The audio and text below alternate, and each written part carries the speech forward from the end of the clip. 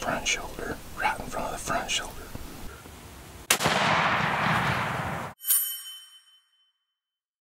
Just waiting on you, princess, whenever you're ready. Got all your snacks? Yeah. Any pillow or anything? No, I'm good. You good? Yeah. Well, it's day two of youth rifle season here in Oklahoma, and Emily is still looking for a buck. She didn't have any luck last night. She hunted with her Uncle Dusty.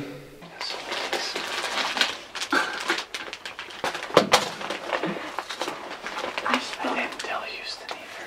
Gotta have these. That's all. Gotta come prepared. Got some seeds too. I got four reds. Huh? Oh, got lucky. But here's the problem. Emily's biggest hunting competition, because she's pretty competitive, Nick, her good friend, Nick McGill, killed that 14 point buck yesterday, opening morning of youth rifle season. And he shot a doe last night. And he harvested a doe last yesterday, last night. So Emily's in a pickle. Yeah. She's uh she's got a standard to live up to because Nick has never beaten her. Not in one single year. She's killed a bigger deer than him every year. Yeah. But the thing is, is Emily's killed some giant deer. It's going to be hard to top the one you killed last year. I know. It's possible. I'm not going to say it's not going to happen, but uh, the standard is set way high. Yeah. Let's go see what we can do.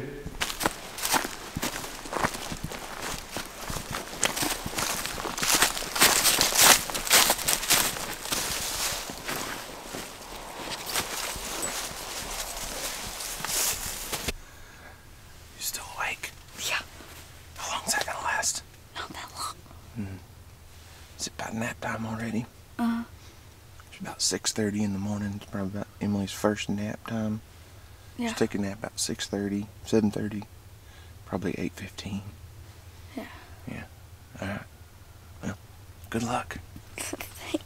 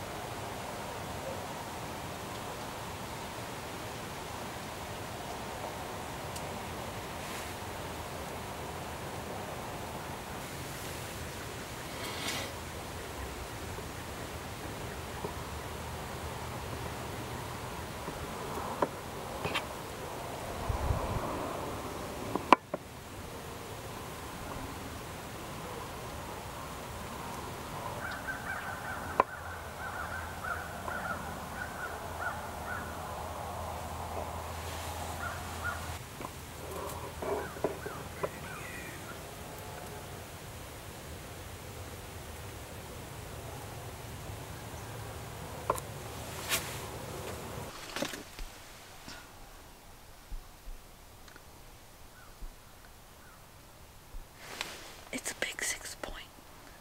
He's really big, but it's a six point. What that? It's a six point.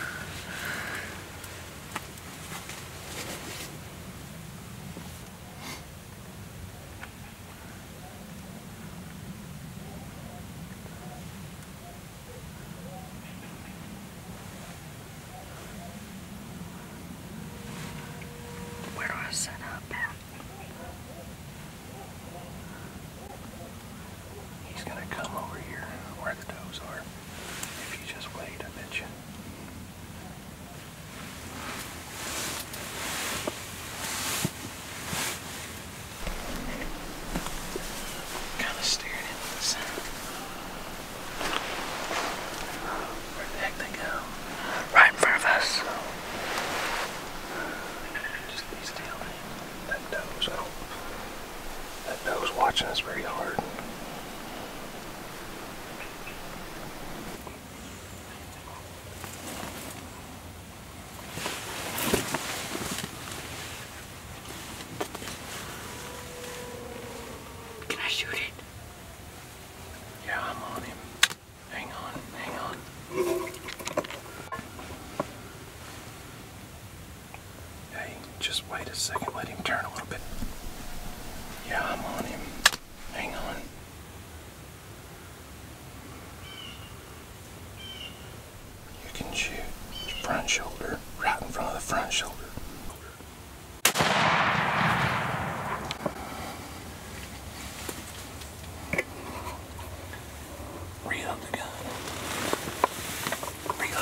Here.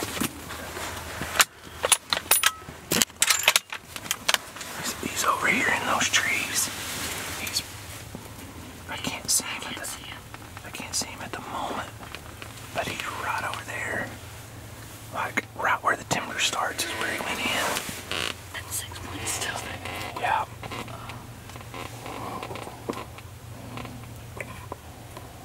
Did I miss it? No, you didn't miss him.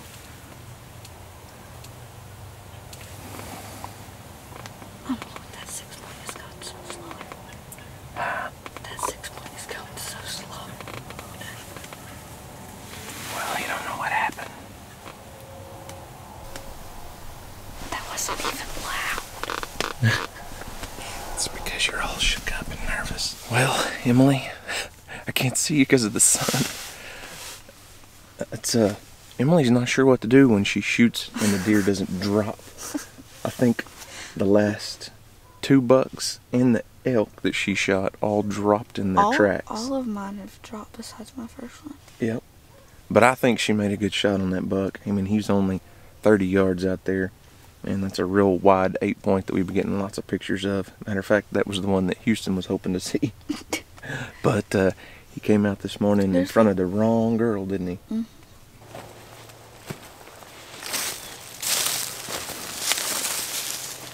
Hmm? My legs are like marshmallows. Why? Because the pants are big. Oh. But, but they're, they're comfy.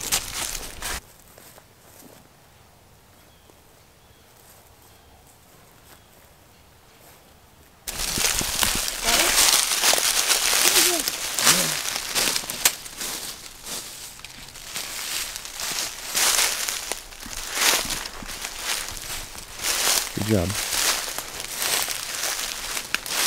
Don't go too fast. Go to where you last see blood. Are you on the trail? Yeah.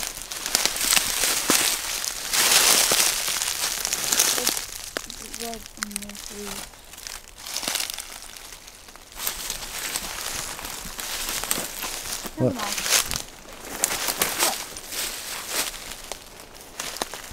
That one. I thought that was the buck. There's a tree. Oh my goodness. Don't get me so excited.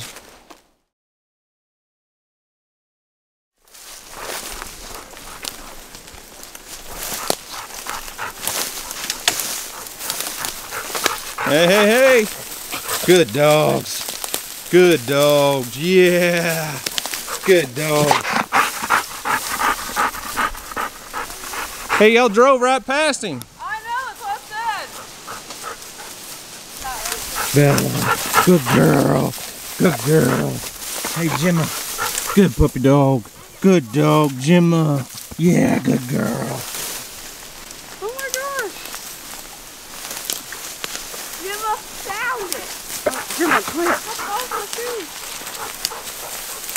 Oh yeah, he's a nice one. Good girl. He's nice and thick. That's a nice eight. little Uber tracker. Hey, so tell us the story, Emily. What happened? Uh, we were tracking the blood. We were tracking the blood, and then it stopped. So we got Bella and Gemma. Who did? Who got Bella and Gemma? They got Bella and Gemma, and Bella was finding all the blood, and then she found some over there, so we were following her. And then Gemma started barking, and so we followed Gemma. Let me back this up a little bit. I'm not wearing a hat because I left it on the blood trail. So Emily shoots this deer. We let it set for about 30 minutes or so, and I watched on video exactly where it went into the trees. There was no blood trail from where she shot for about 50 yards. And once he got in the trees, he started bleeding a little bit, and it picked up and picked up and picked up. And Emily and I lost the blood trail in that tall grass, didn't we? Yeah. So I marked the last blood with my hat, and we looked and looked and looked and looked. And finally, I called DJ and said, "Hey, send Houston over here with Bella and Gemma, huh?" Hey, that that the size of that is almost mine. So I had you bring the dogs because Bella has helped me track deer before. Now I'm not going to say these are bloodhounds, they're not tracking dogs, but I could not find that last spot of blood. So I put the dogs out and Bella, she's really good at just filtering through the woods and when she finds a, a spot of blood, she'll stop there. And our last spot of blood until we found the next one that Bella tracked was probably, what, 100 yards through the timber? And it's thick. And Bella went to a spot and I went there and there were several drops. And actually Gemma Yeah, Gemma. then got on the trail and took off running, didn't she? Yeah. And I thought she might have been after armadillo, so I kind of went ahead and told them to stay back to mark the blood. And guess what Gemma found? Yeah. Gemma started barking and found your buck, huh? Uh-huh. Why don't you hold him up and show everybody?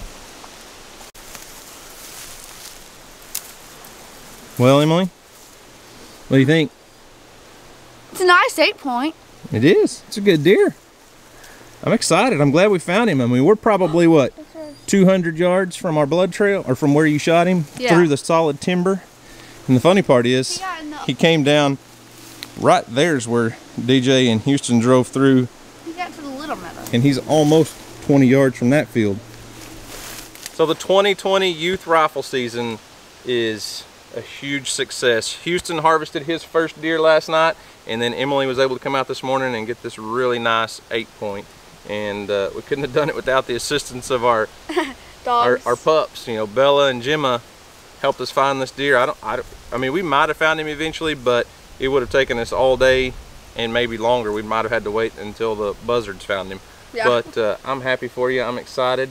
Emily broke her streak of dropping the deer in his track. So this is the first one we've actually had to really track that Emily has shot. But Yeah. either way, we've got our got our deer down. Got Houston's deer. He was field dressed and hanging. It was nice and cold last night. So we got to get to the house, get this guy all cleaned up, and get this meat in the freezer. Yeah. I'm excited, Emily. Same. You happy? Mm hmm Do you think? Hang on. Big question. Do you think you beat Nick, or did Nick, No. Nick beat you? He definitely beat me. But I beat Mm. him every other year, so. it's The taste of defeat is bitter, isn't it? I still have Caden to beat. All right, let's go get this guy cleaned up and put in the freezer.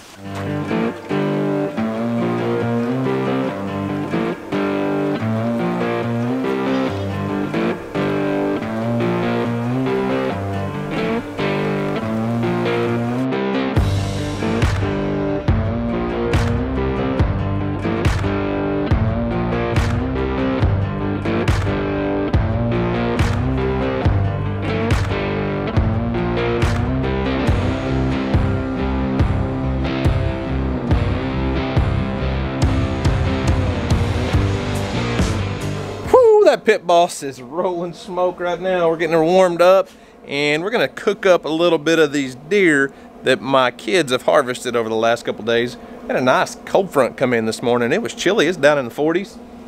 But I took the inner tenderloins out of both of those deer. So we're not talking about the back strap. These are the inside tenderloin after you remove all the guts.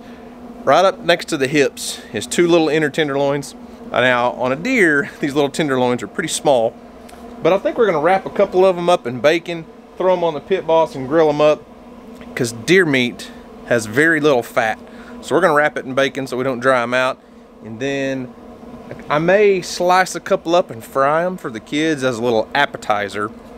Uh, the other day I told you guys we were waiting on a package in the mail from Florida's Finest Foods with a bunch of Everglades seasonings and we used that uh, fry mix on our fish. I think I may do a little bit of a flour and Everglades fry mix and fry some of these deer tenderloins up. But uh, let me go show you what all Florida's Finest Foods sent us just from talking about Everglades fish fry mix one day. So check this out. Now Florida's Finest Foods is the Amazon distributor for Everglades seasoning and they hooked us up with all kinds of Everglades.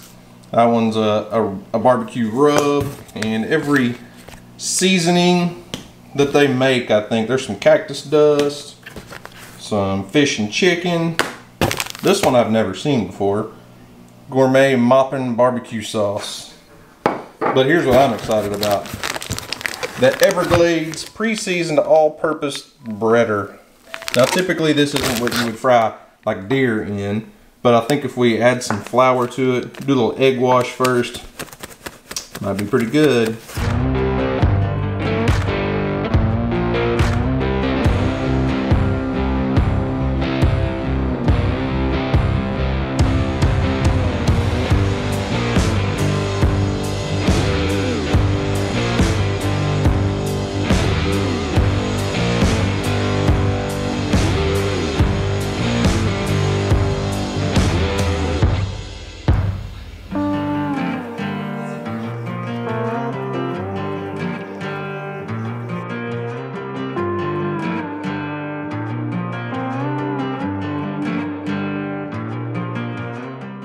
So these are the two inner tenderloins out of Emily's deer. The ones out of Houston's are just a little bit smaller.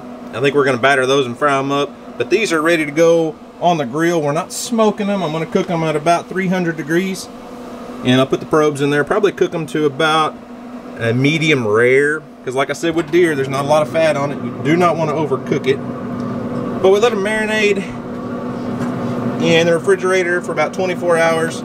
Sprinkle a little cactus dust, some Everglades cactus dust on them. Wrapped them in bacon, and they should be extremely delicious in about 20 minutes.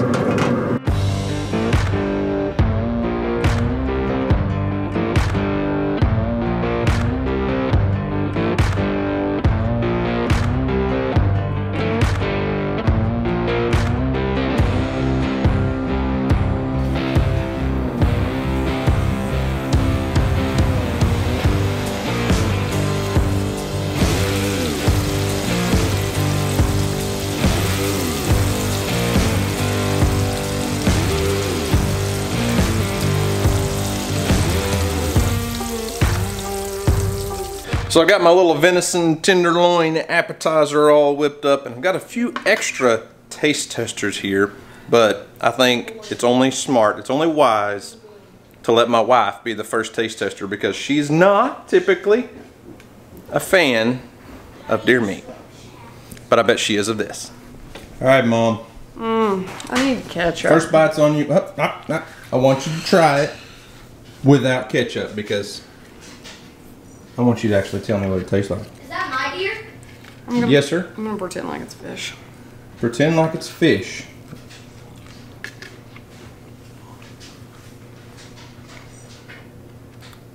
Dang it.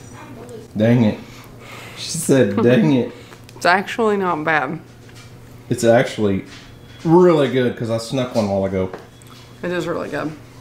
Crap. You know what the difference is? I'm going to tell you part of the difference.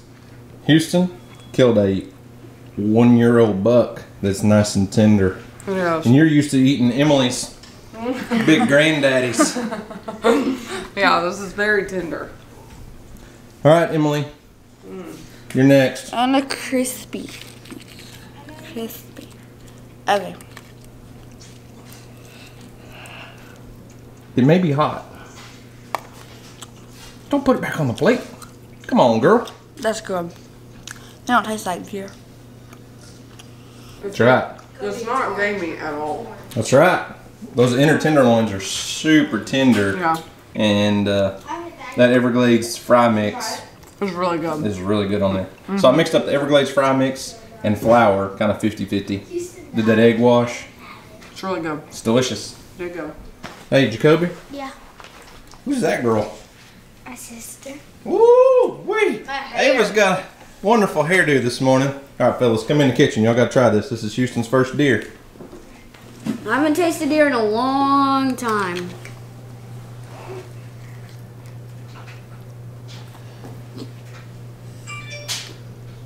Not bad at all. All right, Kobe, with the gimp arm. Let's see it. Mm, man.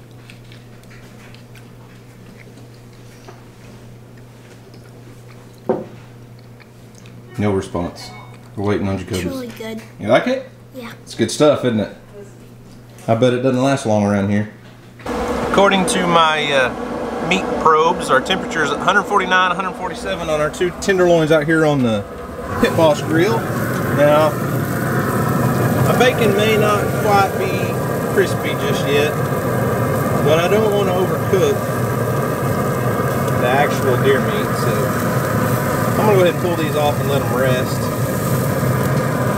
That was some some extra thick bacon, so it's all right. We, I, we'll make it work. I mean, it's cooked. The bacon's cooked by all means. It's just not exactly crispy. So hope it's done. Oh yeah. All right there, Miss Work from Home Mom. Mm-hmm. Okay. Probably not going to be your favorite over the fried, but I bet it's still good. Pretty sure that's a hair.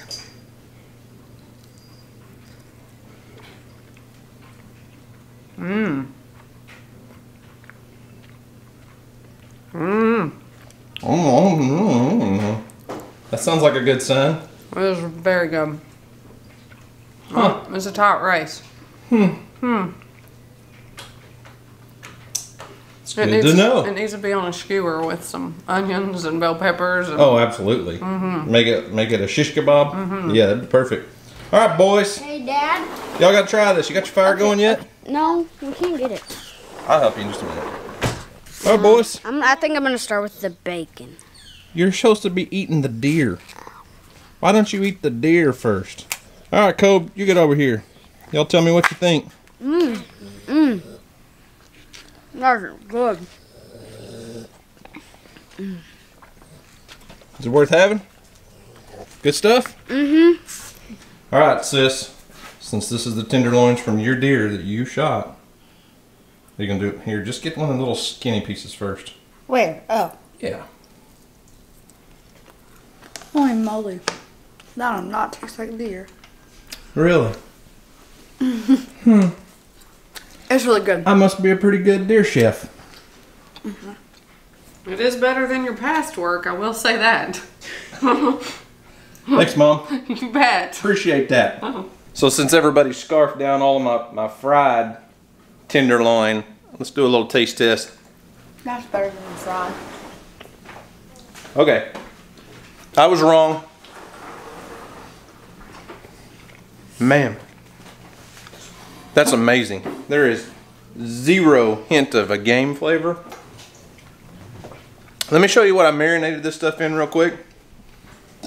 Because my wife thinks that's what made the difference. Now, the fried deer meat was amazing, but I think cooked on that pellet grill to 145, 147 degrees, that deer meat there on that tenderloin is so tender. And this was sent to us by a subscriber quite a while back, but we hadn't used it on the on the channel at all. But it's called uh, Original State Fair Spiedie Sauce or Spidey Sauce. I'm not sure, but I marinated it in this for about 24 hours. Put a little bit of that Everglades cactus dust on there, and uh, Emily says it's amazing. Mhm. Better than the fried. Better than the fried. Which was your favorite? Mm, I don't know. I'm really torn. I'm just gonna go straight even. Hey, A tie. give me some knuckles. Because that means I cooked deer meat two different ways and you loved it. That is true. It is true. No more big old bucks for you. From now on, you got to shoot little small, one year old, 4.6 I don't think we should go that far. Really? No. All right, then. So the 2020 youth rifle season here in Oklahoma was an extreme success. I couldn't be more proud and happy for both of my kids. But I'm telling you what, that tenderloin that I just cooked over here on that pellet grill, I, I'm gonna just say that was the best deer I have ever cooked in my life. It's so tender, so juicy, and I don't know if it was the marinade, the cactus dust, or what it was, but I will leave a link. Neither one of the neither one of those companies are sponsoring us in any way, but I'll leave a link in the description box to the I think it's Spidey's marinade. We marinated that meat for 24 hours, and I'm sure it was going to be pretty tender anyways on that young buck, but uh, it was good. It was really really good, and that Everglades cactus dust gave it a nice little kick. So my wife even agreed that was the best deer meat I've ever cooked, and that's a that's saying a lot coming from her because she typically does not like the taste of deer. So if that's any indication of how the rest of Houston's deer and Emily's deer are going to taste, uh, we're going to be eating good this winter. So guys, that's all I've got for today. Thanks for watching. Hope you enjoyed it. Y'all have a great day. And as always, we'll see you on the next video.